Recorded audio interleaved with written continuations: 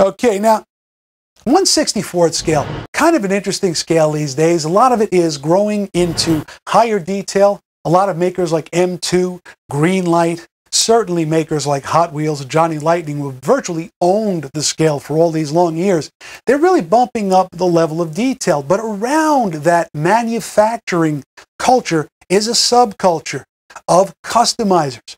Now, at the beginning, a lot of these customizers would take existing mold sets from Hot Wheels cars, Johnny Lightning, whatever their subject matter might be, they'd take them home and they'd break out the tools and they would do some amazing work on these cars, bring them to some of the conventions, sell them, and if they were lucky, they'd make a name for themselves as customizers and maybe do limited runs for things like the diecastspace.com, the super convention, stuff like that, where they would sell the cars. Well, a couple of those guys have branched out and have become manufacturers in their own right. And among those guys, Dave Chang has come out with a line of wicked, cool looking Evos, evolutions of the Volkswagen drag bus, one of the most popular shapes in the 164th collecting hobby.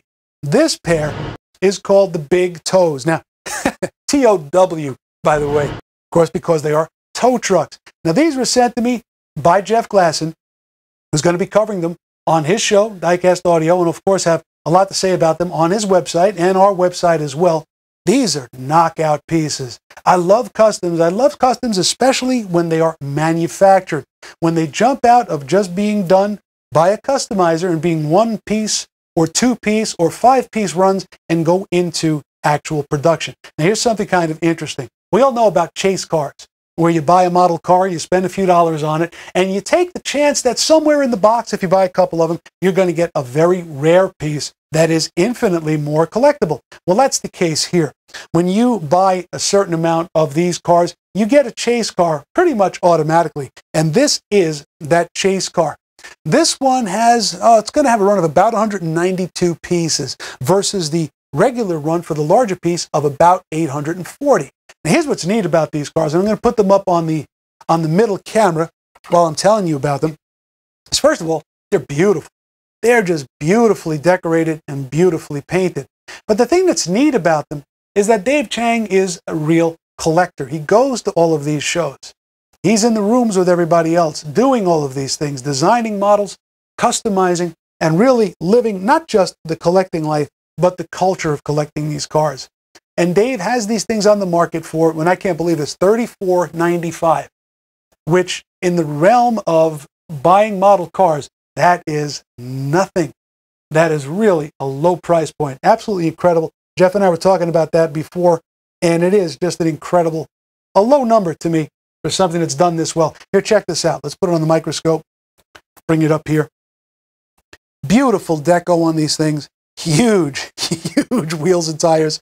Let's see if we can zoom that in. There we go. Look at the graphics on this thing. Look at that spacey, beautiful sweep to this model. Mounted on a nice base with a replication of diamond plate. There we've got the tow end of it, 50 ton tow. Big Tow indeed, man. Drag bus recovery. I mean, this is really a well thought out piece. Nice hook detailing out in the back.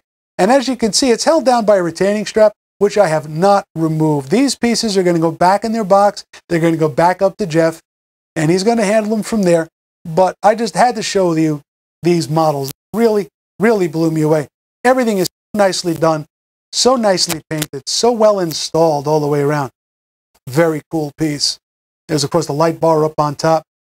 Look deep into these wheels and you can see suspension detailing behind them. I mean, it really doesn't get much better than this. Let me show you the police version, the chase version, very quickly before we go to our next commercial break because I did want you to see this. This is the chase version. Look at the moon caps on this thing and the white wall tires. this is great stuff. If you go to Dave's uh, website, it's Kustom City with a K. You can see what he's got as far as in the works and all of his designs. He's a great guy, really great designer. I'll be missing talking to him. I won't be able to make the uh, convention this year, but uh, well, I sent out my best to everybody who's going to be there. And if you do live in the Vegas area or you want to see something really cool, diecastspace.com, check it out. The Diecast Space Super Convention and Hall of Fame. It's an amazing, amazing few days of collecting and camaraderie. And hey, they have a lot of neat stuff like this on deck.